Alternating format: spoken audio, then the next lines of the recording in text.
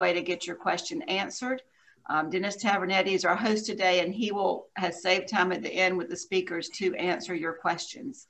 So as you think of a question, go ahead and put it in the chat so you don't forget it, and um, they will address those at the end. And I will hand it over to Dennis to introduce our speakers. Okay. Um, I'm your moderator, as, as we just heard, and um, this afternoon we're, we're fortunate, really, um, to have a prime example of one of the latest trends in fine, fine dining restaurants, uh, which champion the practice of the new culinary art form uh, of farm to table. Um, the participants today uh, are the leadership and founders of Topsoil Kitchen uh, and Market, which is in Travelers Rest and which has a lucky happenstance to uh, front on, on Main Street and back on uh, to the Swamp Rabbit uh, Trail um, with the exceptionally large screen porch as well as uh, a large uh, internal dining space that you'll partially see uh, when we um, get them to, to talk um, as well. Um, please mute your mics if they're not already muted. Um, use the chat function that Nancy just talked talk to you about. I'll collect your your um, questions and moderate them uh, consolidate them, moderate them at the end, the last, last 10, 10 minutes. First up for me to introduce uh, is Patrick McInerney, uh, one of three founders of, uh, of Topsoil. Um, and uh, sitting next to him, you can probably see, is, is Wendy, and he'll introduce Wendy, as well as the executive chef, Adam, who won't be here today uh, during Patrick's talk. Um, a little background on Patrick, and he'll do Wendy's background and, and Adam's background. But um, Patrick's family have lived in, in, Greenville on the east side for over 30 years that I've been here. Um, and his mom actually is, is pretty well known as the best sweet goods baker um, and, and, decorator in town. And I understand she recently just turned uh, professional by spending a zillion dollars on um, building a professional uh, kitchen uh, as well. And occasionally, some of her goods are, I think, are are offered as as well at, at the restaurant. So I suspect that Patrick's had um, the restaurant food DNA in his in his realm for a number of years, although he didn't act on it until just recently. Um, after high school in Greenville, um, he attended Boston University um, and graduated and went on to the great the great city, New York City, and worked at uh, BBDO, which, if you don't know, uh, has um, um, 289 uh, advertising agencies in 81 countries. Uh, and he was creative there as well. His creative role was uh, as a copywriter. And he was there for a few years, uh, writing illuminating words, I'm sure.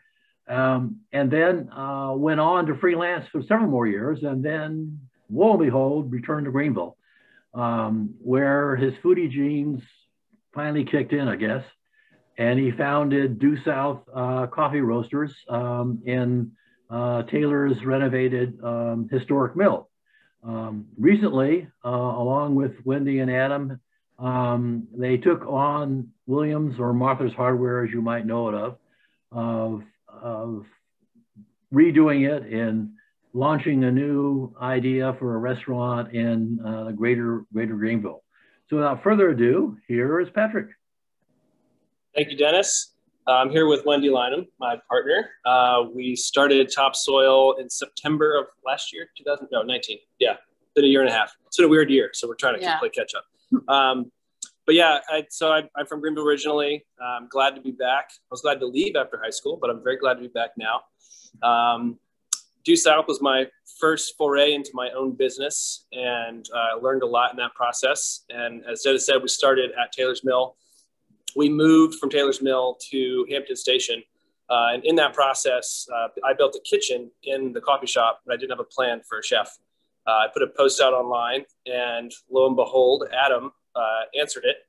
Um, and I hadn't seen him in years. Let me back up for a second. Um, Adam, I met uh, at Restaurant 17. So Adam uh, grew up in Montana, and he went to culinary school and then worked his way up to executive chef at Blackberry Farm in Tennessee. Uh, then George Hincapie with restaurant seven, with uh, Hotel Domestique brought Adam in to open up Restaurant 17, and that's where we met. I was trying to sell him coffee, and we became fast friends, and always had crazy ideas, but never really brought them to fruition. Um, so by happenstance, I was building a kitchen. Adam was moving back, and I didn't know that, and so we started a breakfast and lunch concept um, at Hampton Station. Um, we didn't get enough traffic to support the idea, so we had to be creative, um, and so we thought about what we wanted to do and what we wanted to transfer, you know, our partnership into. And so we started a Topsoil Supper Club, uh, which was a completely plant-based supper club where we had chef, sommelier, coffee professional, and farmer at every dinner, so we could connect people with their food. Um, let's rewind a couple years. I met Wendy at. Um, well, first I'm going to introduce Wendy. Can you give a little bit about your background? Sure. My name is Wendy Lynham, and I'm one of the founders of Topsoil Kitchen Market. And um, I saw the value of the Swamp Rabbit Trail as a recreational trail, just as a user of it um, when it first opened. And I would ride my bike and come up to the cafe at Williams Hardware and have lunch for years. Um, got to know the, the sisters who own this, became friends with them then I was inspired myself to open a business along the Swamp Rabbit Trail, and I created the Swamp Rabbit Inn in the west end of Greenville. I didn't know if it was going to work. It was um, it was seven years ago. I opened it in June of 2014 after about nine months of renovating a six bedroom house. And I just thought I would cater to people coming to the area to ride the Swamp Rabbit Trail.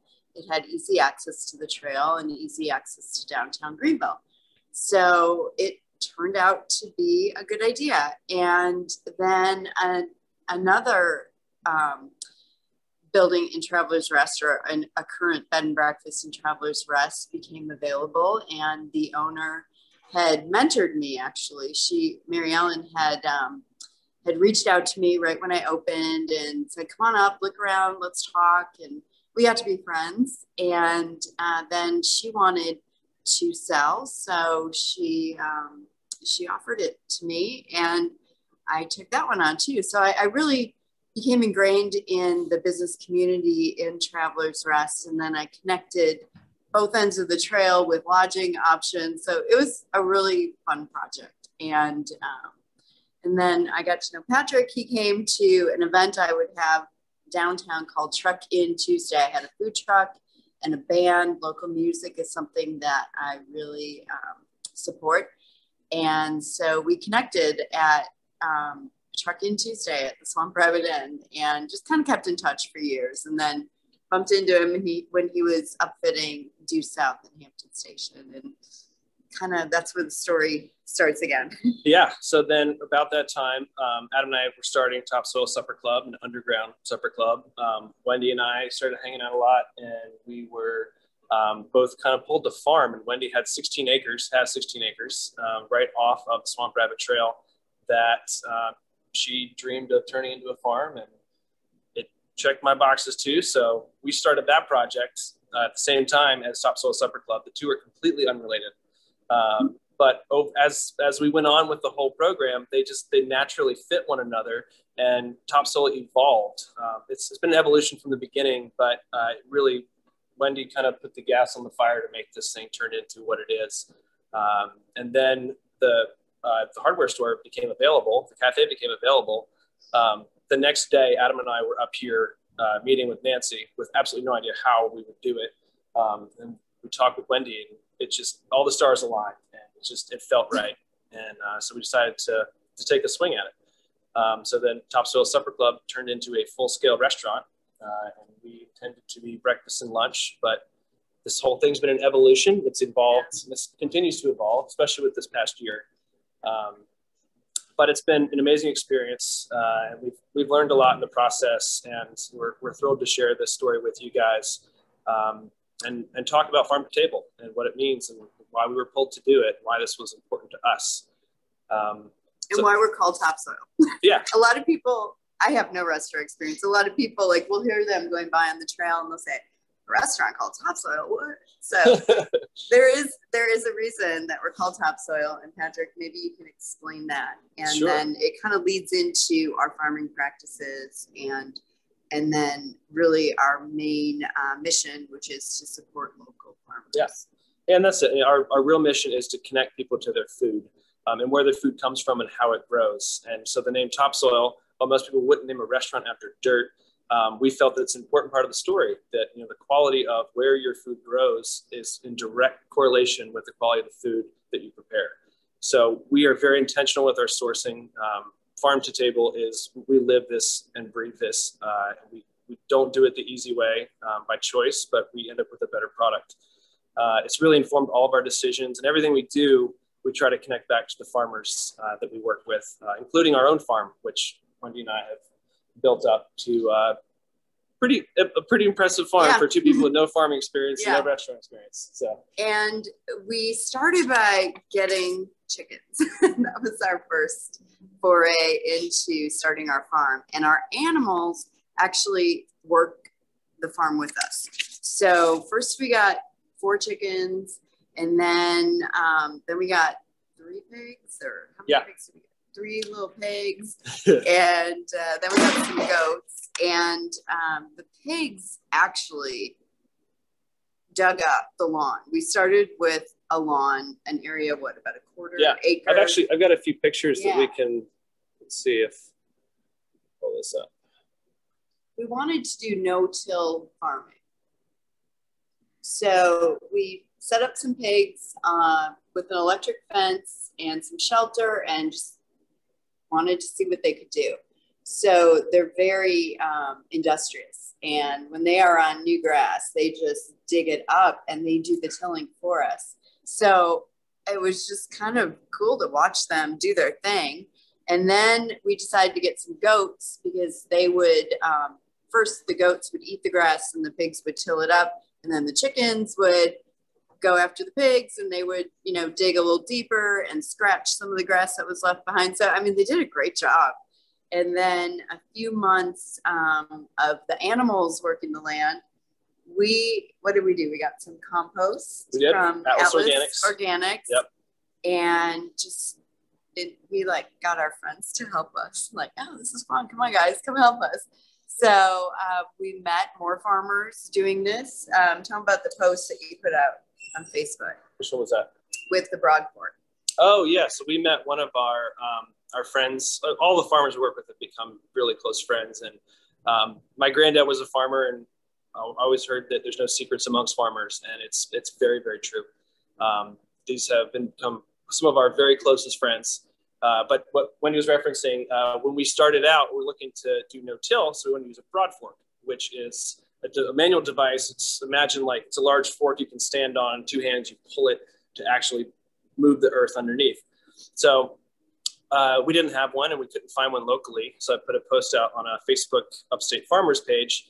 And within minutes, someone uh, named Sweet Tea Dormany uh, said, Yes, I got one. Come pick it up. So went over to Sweet Tea's house, uh, just a mile down the road, and one of the most interesting people I've ever met. Um, he went to MIT. He's got, I think, four or five kids, and he's got a full-on market garden out back that's at two acres, would you say? Like six hoop houses, like an incredibly impressive effort. And he's got a full-time job as a software engineer. Um, so just a really diverse group of people that you know choose to get their hands in the dirt, and uh, that was a really kind of a, a special way to connect. And we've been working with Sweet Tea Sense along with you know, a handful of the farmers that have become really close friends of ours and mentors. Really, we we learn from farmers and from YouTube how to do what we're doing. Um, we had no experience in either one of these realms, and so. Yep.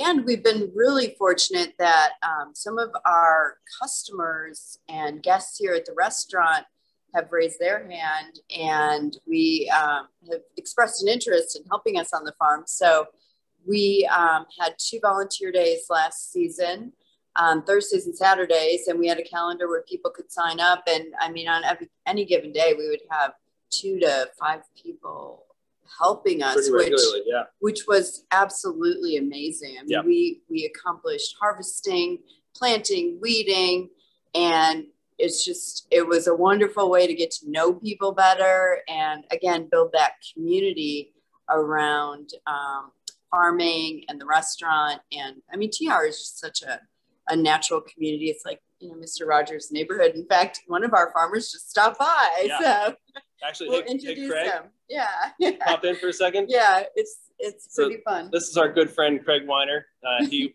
was Broken Oak Organics, now Stage 22 Farms. How you guys doing? Let him pop in for a second, tell you a little bit about uh, his operation, and we've known each other for how long now? Five years. Got that? Yeah. Um, so I'll let you. You've got Alright. the floor.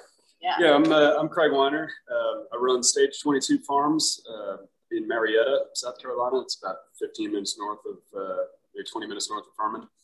Uh, and we are working with uh, Stage, uh, sorry, with Hotel Domestique um, and Restaurant 17.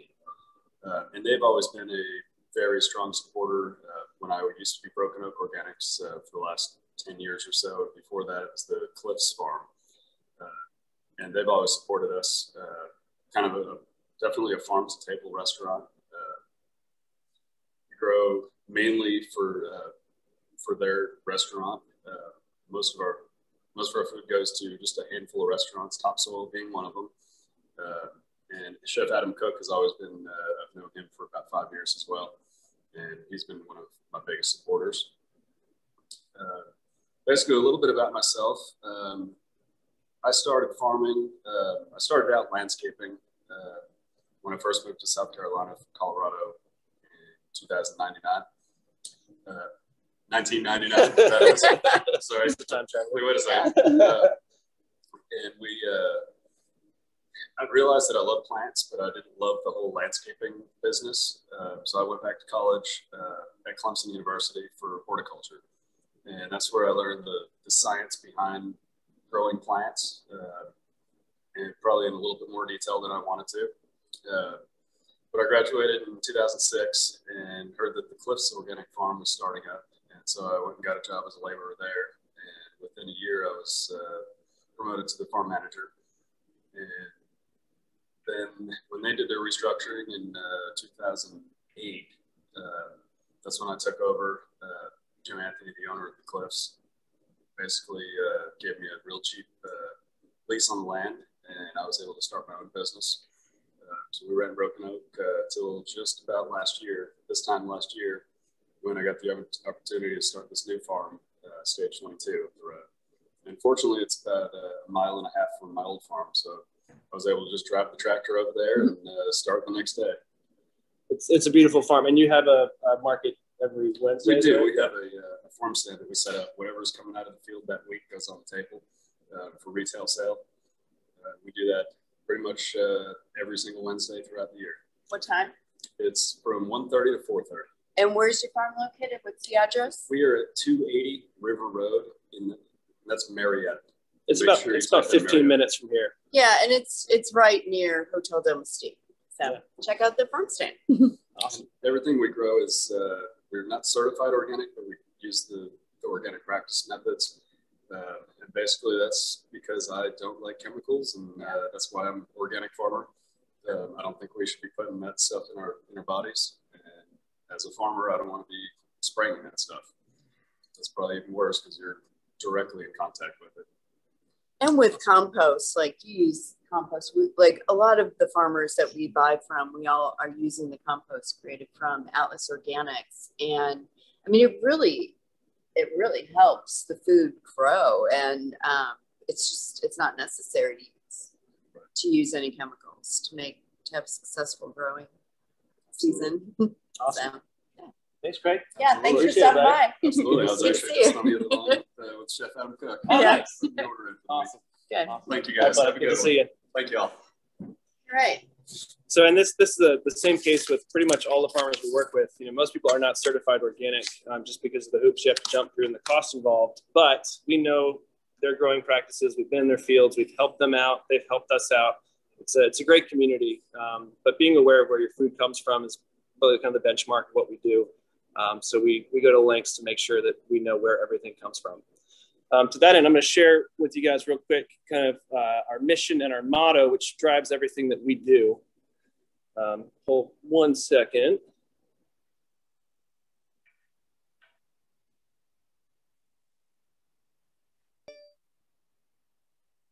All right. That's my niece. So our mission at Topsoil is to inspire healthier communities by connecting people to real food. We know our restaurant's a vital link between small farmers and the community, and we feel a responsibility to protect and grow our local food supply. Our motto is plant forward, protein particular. And this is our promise to our community that we are intentional with every decision on their plate. The sustainability of small farms is vital to our health and our communities, and our decisions to support them as a restaurant are crucial. So these are kind of our guiding principles um, that whenever we make any decisions as to, uh, you know, do we want to add this? Do we want to do this? We, we go back and we make sure that it falls in line with our mission and our motto. It's very important to us um, in being a true farm to table restaurant. Um, and then to get into farm to table, which was the topic of the discussion, um, Dennis asked some great questions and love to cover those. Uh, first off, what is farm to table? Um, I think it's, it's knowing where your food comes from, it's knowing who grew your food, and it's supporting the people that do it the right way with careful consideration of sustainability in their practices. Um, Dennis also asked, is it better? I think the short answer is yes. Yes, just like um, with wine, the terroir, you know, you taste flavor. First of all, it tastes better usually um, if it's grown in soil that um, it's healthy. Is healthy and alive. Yeah, alive. So it affects the taste and the quality as well as the uh, nutritional density of the ingredients. Yeah, absolutely. And it supports our local economy and overall it tastes better in our opinion.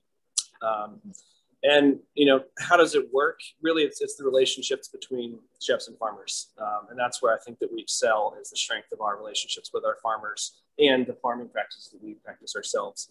Um, you know, our menus all begin, as Craig was saying, as the phone Adam, like our menus all begin with phone calls to farmers. Um, it, it, doesn't work in reverse. It, it's always what's coming out of the field dictates what goes in the menu, never the other way. And it's Tuesday, so probably it's still in the field at this point. Yep. What's going to be on our menu this weekend has not yet been harvested or picked. Yeah. So you know it's not traveling far, and that again helps with the nutrition, nutritional density of the ingredients and the taste of the ingredients. And it's funny on Saturday we ate uh, dinner with Craig here, and he actually picked out one of the radishes and said, "I picked this thing yesterday," and it was true. He did. Yeah. Um, so it's it's it's really lovely for us to be able to have that relationship with our farmers and share that with our customers and really connect people to their food in a meaningful way. It's that's really kind of the the hallmark of what we do, I think. And, yeah, and even with our wine program, um, you know, kind of our what informs our decisions is the farming practices sure. of of the winemakers as well. Another great question from Dennis was, where can you experience farm to table? Um, we have a list here that we'd love to share with you guys. Uh, it's we have actually a very unique uh, opportunity here in Greenville. There are five restaurants that have farms, and either started as farms and became restaurants, or vice versa. Um, but we'd love for you guys to check out all of them. Um, they're doing things the hard way, and they're doing a, a lovely job. It's it's really we're we're proud to call them peers um, in the restaurant industry here in the upstate. Um, so in addition to ourselves, uh, Restaurant 17, which Craig was referencing earlier, just about 50 minutes up the road, uh, they have Stage 22 Farm, which Craig is overseeing. Um, Anchorage in Village of West Greenville, uh, they have their uh, adjoining farm, Horseshoe Farms, which is up here as well, just around the corner. Uh, Fork and Plow, which is on East North Street, uh, they were started by Greenbrier Farms in Easley. And then Oak Hill Cafe, which is on the way up here from Greenville on Poinsett they have an adjoining um, permaculture farm right behind the restaurant. Um, so to have that many restaurants with farms in one region is just it. It really stands out to me, and I haven't seen that anywhere else. I think it's a, a very special offering that we need to support here in the upstate. Um, in addition to that, there's three other restaurants I would highly recommend: Bacon Brothers, Stella's, and GB&D for their sourcing practices. Um, so that would be, I think, our list of places that, that we like to frequent, and we really appreciate the the work that goes into the product that they put out. Um, with that, we'd love to give you guys a short farm tour. So if you bear with me for one second.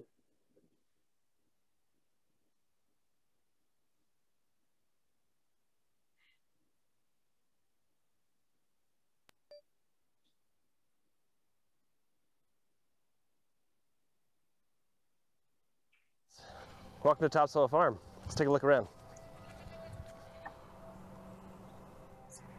We're on about 16 acres right here off Roe Ford Road. Most of it is wooded or pasture land, but we do have about an acre of it planted.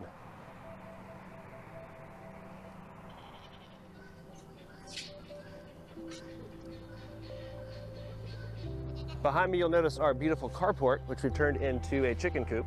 You'll see that we just enclosed it with chicken wire and then added these nesting boxes to the end so we can collect eggs in the morning and keep them safe at night. I'd like to introduce you to our soil management team.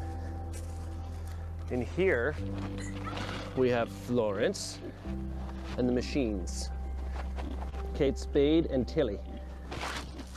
And then over here is their boyfriend, Herbie Hamhock. And Herbie loves belly rubs. Right. Hey, Florence. So before we planted the field, we actually had the pigs and the chickens run over the soil first. So the pigs would go first and they dig everything up and root around and fertilize. Then the chickens would follow and break up all that rich, rich fertilizer and prep our beds for when we started to do our first planting. And since then, we've been no-till pretty much. Um, we add compost each season, uh, but really the animals did the work for us in really enriching the soil, and the soil is the most important part to delicious produce. Now, these are American guinea hogs. American guinea hogs are prized by homesteaders for their really docile nature. They uh, also can ward off snakes. They will eat snakes and they're really gentle around kids.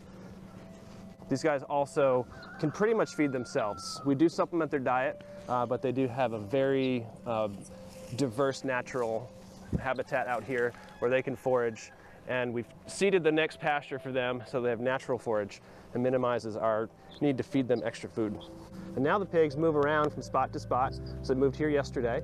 In a couple days, they'll move over here. And you can see that we've just spread uh, some rye seed a couple weeks ago. It's starting to pop up.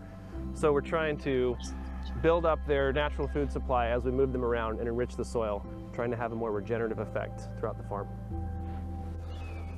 All the animals here serve a purpose. So we started out with the pigs and the chickens to enrich the soil before we planted. Uh, the pigs are now going in succession through the woods as we start to clear some of that land and then add some natural forage for them. The turkeys, well, their purpose has changed. They've become buddies, and so Tom and Tom are going to stick around. Uh, the chickens, which are everywhere, uh, we they have an incredible naturally foraged diet, uh, so the, their eggs taste delicious. Um, so we use those at the restaurant. We also sell them at the roadside sometimes we have extras. And the goats, we've come to love them, um, but we do do goat yoga with the babies at times, and otherwise they're pretty much just pets as well. Let's meet the goats. So our first goat, Cupid, we got on Valentine's Day two years ago. And then Mary Jane, we got in April. And then this is Mary Jane's third litter she's had. This is Stills, that's Nash. Her first litter was Hall & Oates, and her second litter was Simone and Garfunkel.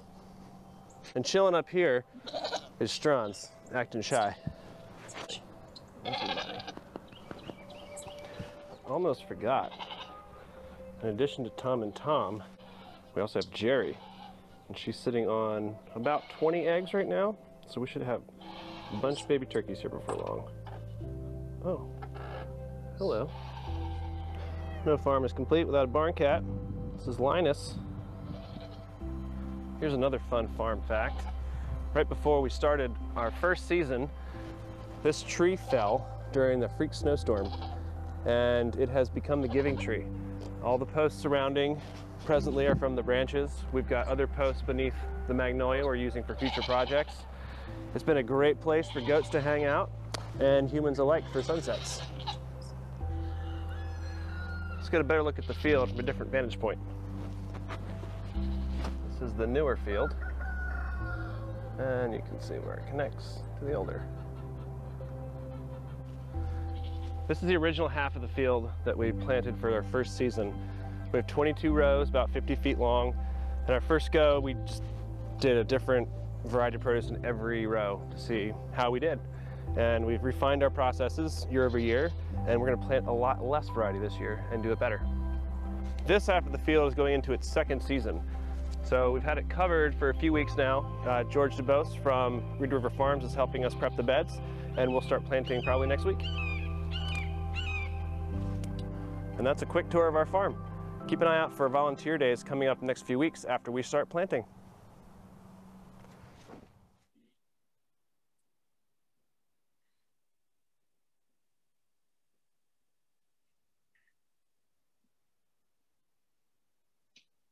All right, that's a quick tour of the farm. Um, our, uh, you know, we started as a plant-based supper club, and that tradition continues to this day. We have a monthly plant-based supper club where we feature a new farmer every month. Uh, we've been doing that since we opened the re- opened and reopened the restaurant, I guess. Um, but th- this month we have a very exciting dinner. Uh, we, are going to have Nat Bradford join us from Sumter, South Carolina. Uh, it's a, a, very very well known farmer. Um, if you're not familiar with Bradford watermelons, I would uh, encourage you to look them up. It's uh, quite a story. Um, we got another little video for you guys to take a look at. Oh, one more thing, we have guest chef John Buck joining us as well, um, who was the 2019 James Beard nominee from Greenville for Best Chef Southeast when he was at Husk. Um, so we're thrilled to have both chefs with both the James Beard nominations and uh, a world famous farmer join us on March 10th. So bear with me for one moment.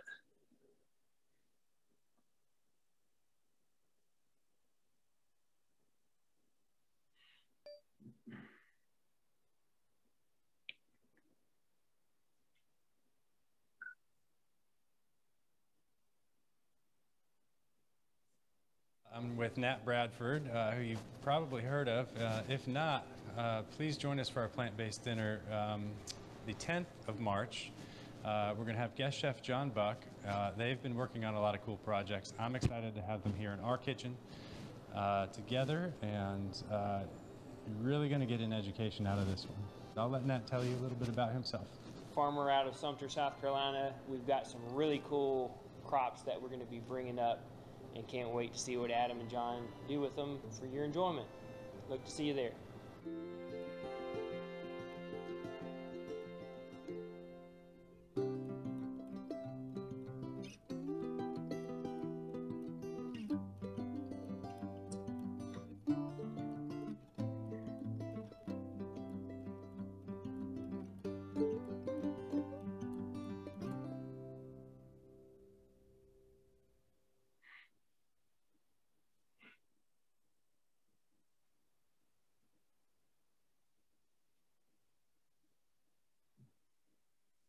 So we'd love for you guys to join us on the 10th if you're able. Um, tickets are on Eventbrite. Uh, you can also find them on our social media. If you're not following us, we'd love for you guys to stay in the loop. What's going on? We're on Instagram and Facebook. Uh, we have a weekly email list as well. If you'd like to join that, it's on our website, which is topsoilrestaurant.com. Uh, with that, I'd love to give you a quick tour of the restaurant. So I'm going to grab the iPad, switch the camera, and Wendy's going to give you a walk around.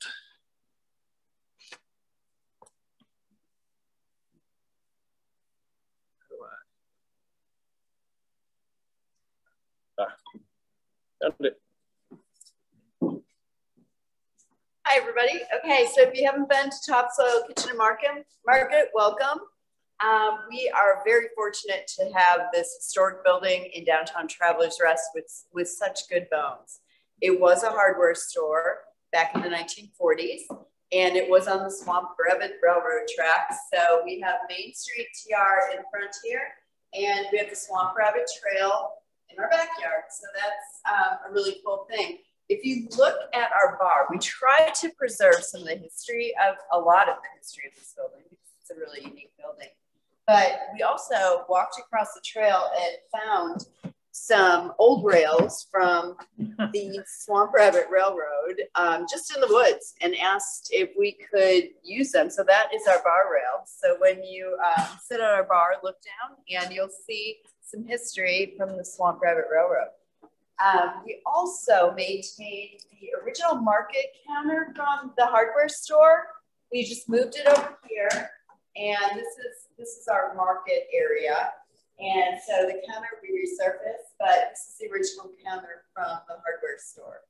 If you look up, you can see the rough hewn beams Um, this is original, and the sisters exposed those beams, and it's just a really beautiful architectural feature of this building.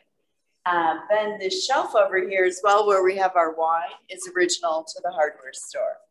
So in our dining room, What's that on the shelf over there? uh, like there.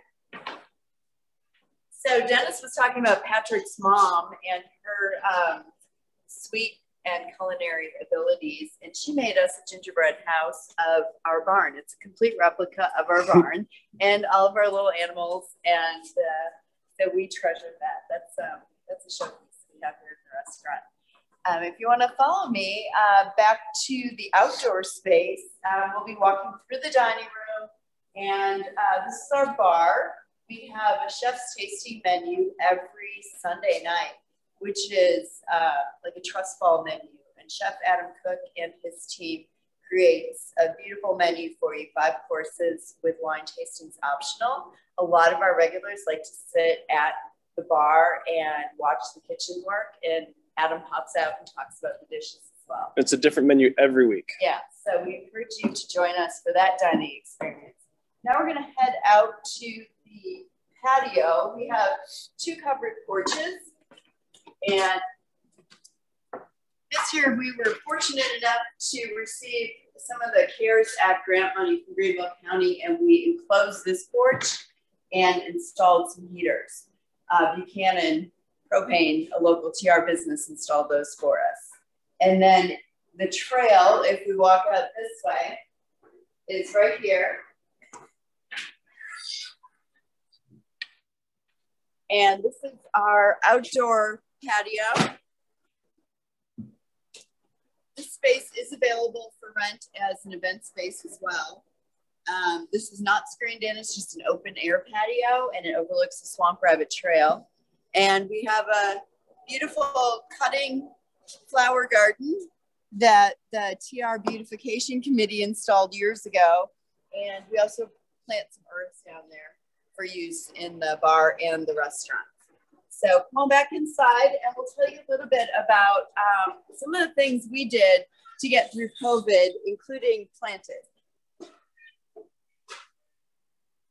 On our way, I want to point out this new piece of art that we've just added from Jerry Woobin, who is a professor at Furman as well. We love his work. We've got a large piece up front as well. Um, he's got a lot hanging at Due South as well. If you want to check out his work, but Jerry Woobin is our our guy. This table we are absolutely in love with. Weighs about a thousand pounds. This was actually modeled after um, some laminated beams that we found over at Hampton Station. Um, and we worked with uh, Circles and Squares and Tree Hugger Customs to create this massive thousand pound beast that goes nowhere. It took two pallet jacks to get it in here. So it's uh, one of our favorite pieces. Another point of pride for us is an award that we just recently were bestowed. We received a plushie from Off the Off the Grid Greenville, yep.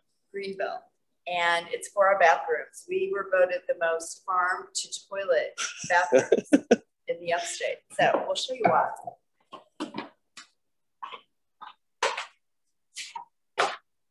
Behind door number one. So this is one of our bathrooms. Look carefully at the vegetable. We'll fill you in on the pun. That's in our garden. This one is in Reedy River Farms garden. Right here we have a leak. So what was the other one? It, it was a pee. Oh, so taking a leak, taking a pee. Yeah. Got it.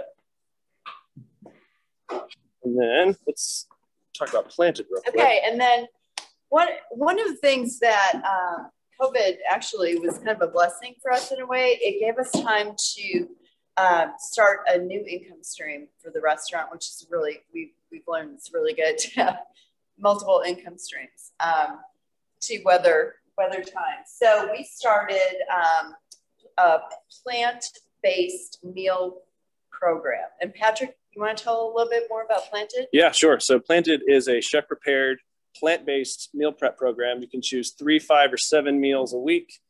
Orders in by Thursday, And then we have meals ready for you Sunday or Monday for pickup here at the restaurant or at Community Tap on Wade Hampton. Um, there's some phenomenal recipes. Adam does a really beautiful job with plants. We are plant forward and protein particular. So it's really in line with, with what we do, what we believe in. So that is a brief run through of the restaurant. I know we're close on time, so we'd love to open this up to questions from you guys. So Okay. Back over to you, Dennis. Okay, here we go. Well, you have to you have to do the answers, you guys. Yes. Um, um, a lot there's a lot of concern uh, from folks um, who heard your talk about well, what happens when you don't have a vegetable? It's not in season, guys. What do you what do you do? Do you make do you use paper mache samples of it, or you just pass on that?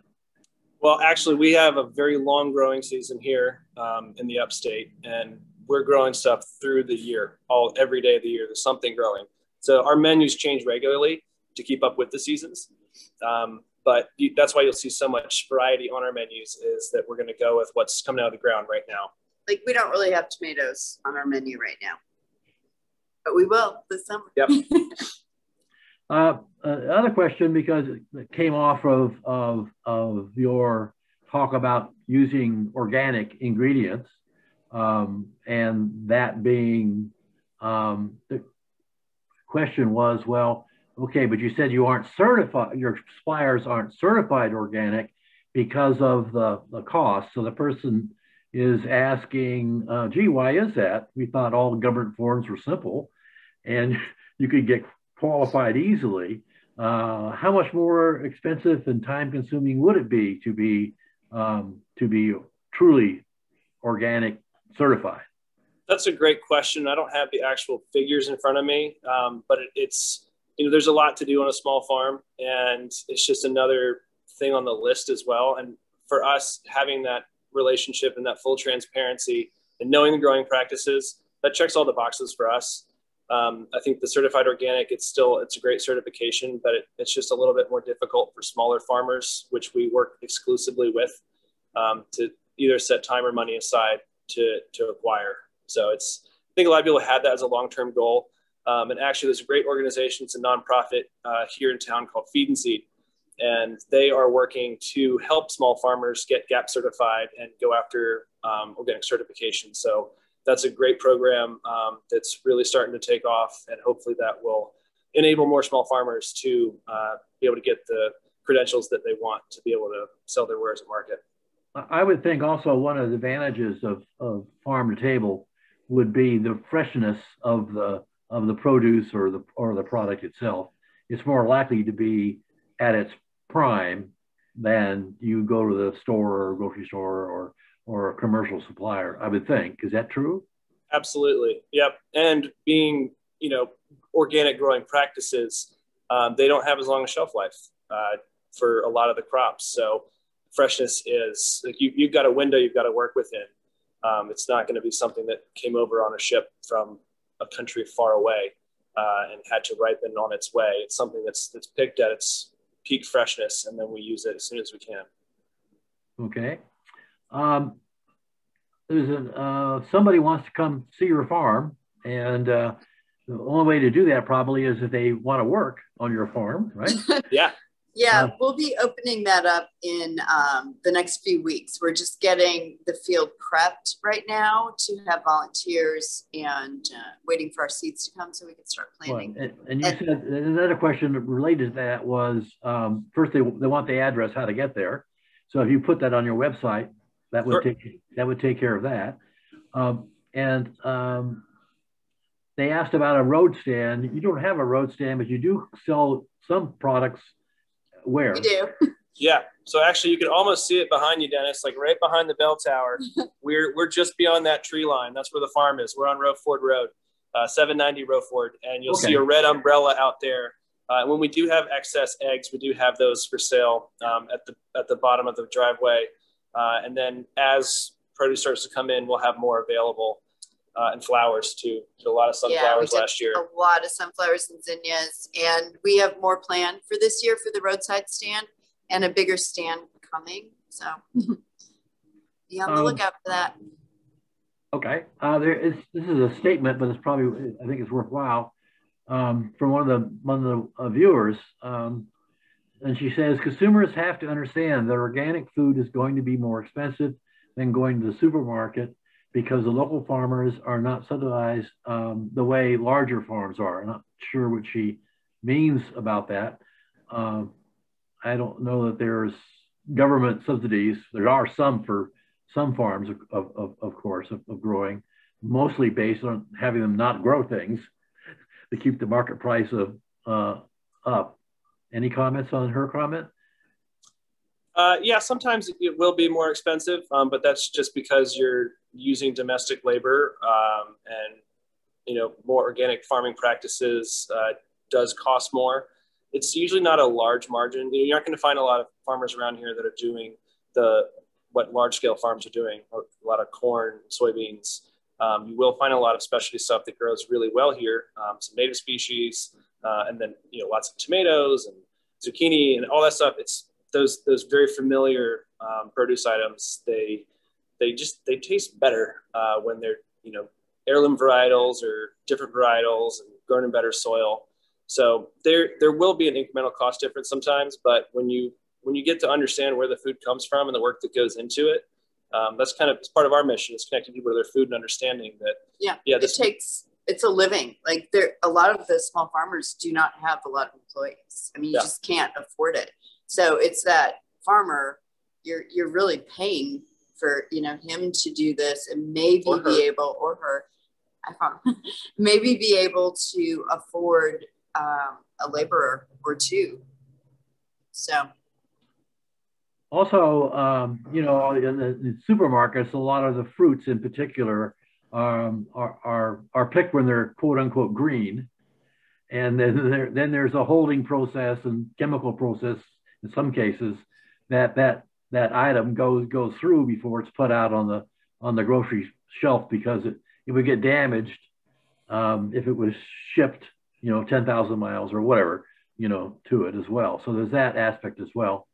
Um, there's one question uh, regarding about um, fertilizer versus compost, chemical fertilizer, and so on, as to organically what type of fertilizer is is okay, approved, or what you use? We, we really we don't, don't use, any. any. We use compost only, um, and then the animals naturally fertilize the soil as well. Um, we we did put some nitrogen amendments last year, uh, but beyond, a little bit of lime. Maybe of after lime. our soil test, um, Clemson Extension analyzed the soil and told us that what we needed to add to the soil. So it we didn't use any fertilizer. Uh, you did talk, uh, you showed some of your planted uh, meals that um, Adam prepares. I trust there's also instructions about how you, what you do with them when you get them home. Yep, yep super simple. They're either heat and eat or ready to eat. Um, we want to take all the work out for people so that they can, we know people are busy and got a lot going on, especially now. Um, so it's, it's a way to have uh, delicious, healthier food um, and you know, I forgot to mention, but we do work with Spruce MD, um, Mary Britton Blankenship. She's a physician that advises us on our nutritional content. Um, so we want to be aware of you know what's going into the meals, make sure that they're they're balanced. Uh, so we do uh, work with Spruce to ensure that we have a, a, balanced menu coming out each week. You also talked about um, you had a planted meal um, once once a month type of thing yeah, so we have our, our plant-based supper club. Uh, we, we've continued the tradition. Um, so the, the video that you saw earlier with Nat Bradford and um, John and Adam and John Buck, uh, that will be coming up March 10th. We generally have those on the second Wednesday of each month. Uh, those are all on Eventbrite and on our website. They're on our website. Facebook page, yeah. website. We email them. Like it's really good to sign up for our email list because then you know you get everything that's coming up. And we have jazz every night now. Yeah, Thursday There's... through Sunday we have live jazz with Greenville Jazz Collective. And that has been okay. So if I came, if I came to one of your planted meals, would I would I be disappointed because there was not a steak nearby, or no? Or you'll be blown or, away. Yeah, you, you, you might look at plants a little different. Yeah. Okay. So if and you're so, plant curious, check out our plant-based supper club, or even just come experience the menu. We have lots of plant-based options on the menu. I saw Wendy and, and Adam do a, um, um, a, a, session on planted uh, menu items, and Adam brought all this stuff out of uh, various things that he has discovered or uses to sort of fill that gap that you might feel from normal, what you might call normal protein, the taste wise. Yeah. Umami. Yeah. Yes. Uh, Adam definitely paints with flavor. So yeah. He's, he's a master. And if you're interested in learning about plant based cooking, we would like to see if there is a demand out there for that. And Wendy, what is that? Uh, it's on YouTube. So what is that? An interview with uh, Prisma Healthcare? What, what, what? Yes, it was the Cancer Survivors Park. So if you go to the Cancer Survivors Park website, they have their virtual programs listed there. Or if it's on their YouTube channel now, um, but it, it was through the Cancer Survivors Park. And I am a cancer survivor. So it's it was really a great opportunity to be able to talk about um, you know what that can do for you. Dennis, I'll be happy to send that link to you if you want to include it in the notes beneath the video when you post it. Well, it gets lost, I think. I don't. I so you, you're going to advertise it, I guess. So it'll be on your website, right? Yes. Yeah. Okay. Cool. Um, from a business perspective, now, um, a question uh, regarding um, COVID uh, 19. Uh, you guys uh, didn't know it was coming uh, when you started remodeling.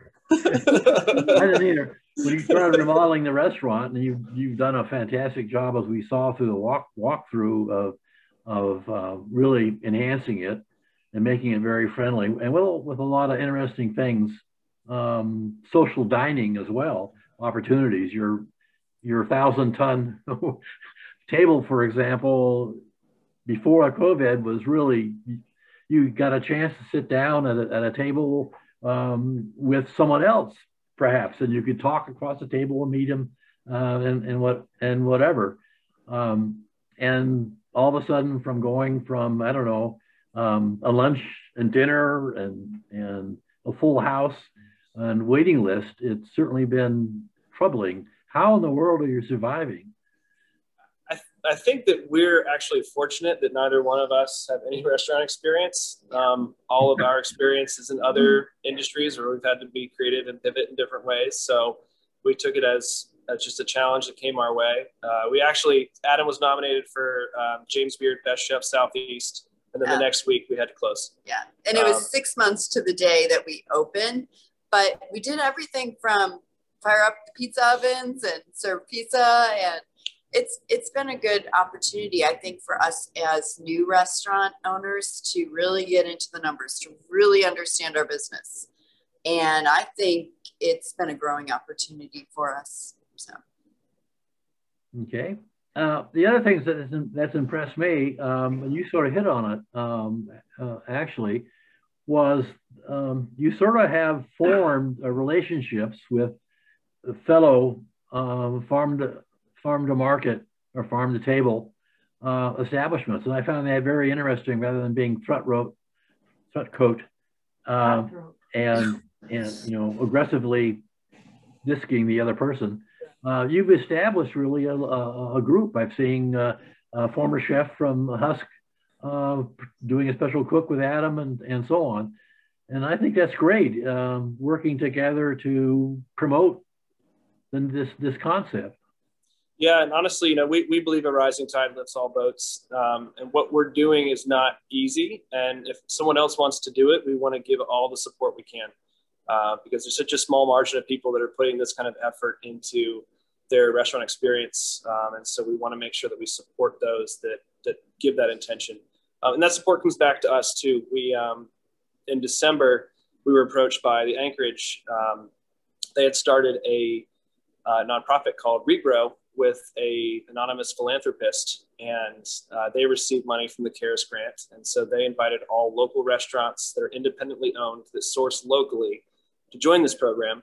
Um, and it really, it really helped us in a big way. And yeah. we're very thankful for and others that. in the community. Yeah. So it's so we would we buy from the farmers, uh, we'd prepare everything here, and then it would go to people in need. So we work with Loaves and Fishes, uh, with local churches, schools, schools, they would go home in their backpacks. Like so that was an amazing program that everyone got to benefit all the way down the line, and it it was it was really meaningful to have someone else pull us into something like that. We just we believe that what we're trying to do um, can be achieved by others, but it, it, takes the support of the community. And we have a few questions about March 10th. Um, people want to know what time is it? It's 6:30, March 10th. Um, we'll kick off, and we'll have right. Nat Bradford and John. Yeah, you can make reservations on online. Yes, so it's uh, we have a link in our bio on Instagram if you're there. Uh, if not, we have this posted on Facebook as well. Um, or if you join our email list on our website, we'll send that out to you as well. Or Eventbrite. Eventbrite, you can find it. Yep, you can put Topsoil March into Eventbrite, it'll pop up. And another question about about March 10th is uh, is is it going to be socially distanced? Yes, so we're we're still operating at half capacity. Um, all of our tables are spaced appropriately. Um, and we're just going to continue with that until everyone feels comfortable. Yeah. I, I, don't think we're there yet, but we're certainly, you know, doing our part to to make sure we can infuse some normalcy in this very strange time. Yeah, it feels like a community dinner, but everybody is spaced properly, and we have a lot of space, so we're fortunate that we have a large restaurant with outdoor dining. And uh, there's a, a, a ribeye person who is very anxious uh, to come and have ribeye. He, he found ribeye on your menu. So he wants to know what is special about your ribeye. Where does it come from? And has it been padded and whatever? Yeah, that's a great Trail question. Place. I wish Adam was here. Yeah, so it's either from uh, Trail Place, sorry, Trail Place uh, or Greenbrier. Um, those would be the, the likely suspects. Uh, but this that will change regularly too because right now you never know where something's going to come from locally based on demand. So uh, menu changes weekly. If you guys have questions, feel free to reach out. We're happy to answer those anytime. Right. So I guess that it's, it's indicative that you do have a wide range of, of meals on your on your menu, but you do keep your menu limited so you can handle it uh, well. So it's not going to be a 25 page item menu item of listing. is going to be everything you do. You guys do is special as far as I'm concerned. Thank you. well, okay. It's it's 128, so we ought to say goodbye. We want to thank you very much uh, for the for the tour.